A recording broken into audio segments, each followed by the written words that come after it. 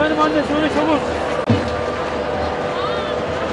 Allah anne şu anda şu anda mahsur kaldı. Taksim meydanda mahsur kaldı. Ben canlı yayın yapıyorum şu anda. Av TV'ye canlı yayın yapıyorum şu anda kamerayla.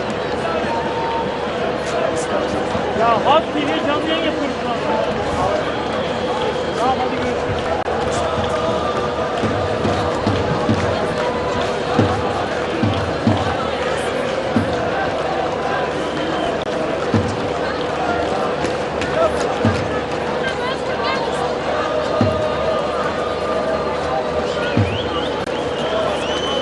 頑張